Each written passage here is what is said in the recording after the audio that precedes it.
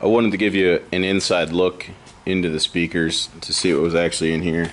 So in the top portion from about right here, there's a screen inside and then above that all the way until the top, there's a, a bunch of this cotton fill lightly packed in there.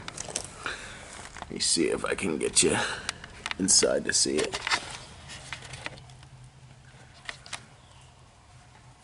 Then there's underlayment paneled all over the inside of the box. Just real thin sheets to try to get the box so it doesn't hum. And then inside, get the aluminum plate set in there.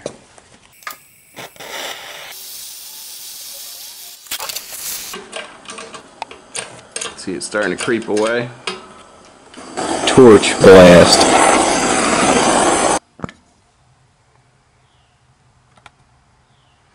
with the crossover, the attenuation knob.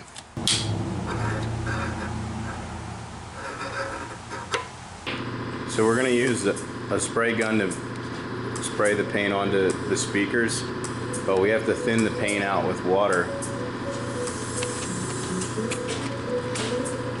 So we're gonna use some distilled water.